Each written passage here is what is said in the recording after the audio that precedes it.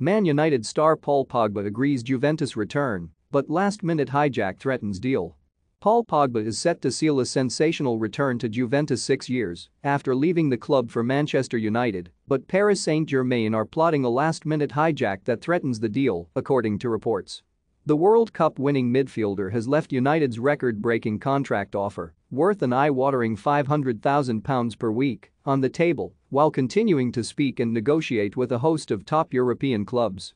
But now Pogba is closing in on his United's exit and could play his final match for the club on Sunday against Crystal Palace at Selhurst Park. Pogba is allegedly cautious about featuring for the Red Devils due to the reception he may receive from the club's supporters after being booed in the 3-2 win over Norwich. The Mail are now reporting that Pogba is on the verge of sealing his return to Juve in a deal worth up to £30 million across three seasons.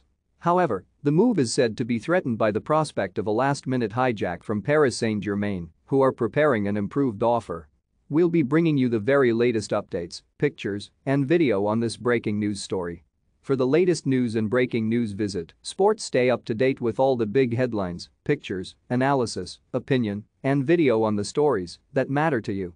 Follow us on Twitter at DexpressSport, the official Daily Express and express.co.uk Twitter account, providing real news in real time. We're also on Facebook at Daily Expressport, offering your must-see news, features, videos, and pictures throughout the day to like, comment, and share from the Daily Express, Sunday Express, and express.co.uk. Star.